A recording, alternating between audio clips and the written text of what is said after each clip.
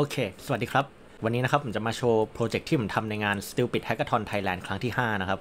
โปรเจกต์นี้ก็คือโปรเจกต์ชื่อว่า misheard นะครับ เป็นโปรแกรมแชทโปรแกรมหนึ่งที่เราได้เอา AI ของ Google มาใช้งานด้วยนะครับ ทำให้คนสามารถเข้ามาคุยกันได้ แต่ความพิสดารของโปรแกรมนี้คือ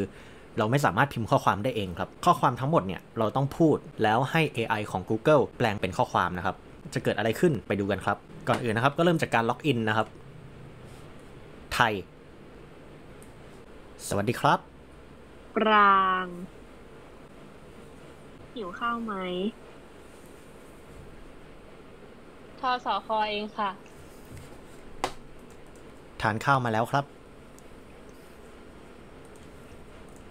จริงเปล่า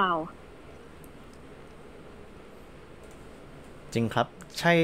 ปลางที่เคยเจอในงาน Stupid Hack ครั้งที่แล้วหรือเปล่าครับ อ้าวตอบช้าจังจริ Stupid งครับ Hackathon ใช่ฟังที่เคยเจอในสตูปิด Stupid อ่า Hackathon เอ้ยไม่ใช่ ไม่ได้จะ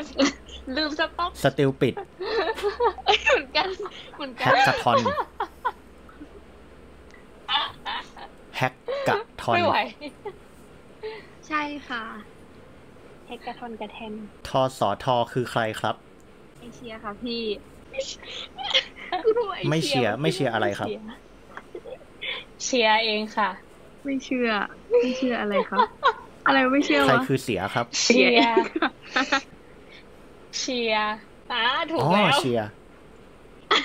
ได้มาสายการบินแฮ่เห็นเชียภาร์ษาฝึอักงกฤษงานพอได้ไหมเขียนภาษาอะไรครับ กูพูดว่าแค่ภาษาโปรแกรมมิ่งนะครับจาว่าค่ะ ว่าใครครับ จาว่าค่ะ อ๋อจาว่าทำส่วน back end เหรอครับ เป็นฟูลสแต็กค่ะเฮ้ยอะมึงเอ้ยเฮ้ยได้เอ้ยมันได้มันได้มันได้อยู่โบบากะหล่ำปีโมบายกันไม่ไหวคืออะไรอะครับเออ หัวร้อนจริง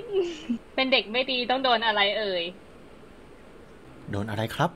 โดนตีนไงไอ้หนู ไม่ได้ พอเป็นอันนี้มันฟังได้ เบาๆหน่อยค่ะ ปวดหัว ปวดหมอง โอเคครับ ก็ขอบคุณน้องเชียร์กับน้องปลางที่มาเล่นด้วยนะครับ ถ้าอยากลองเล่นกันนะครับ ก็เข้าไปที่ misheard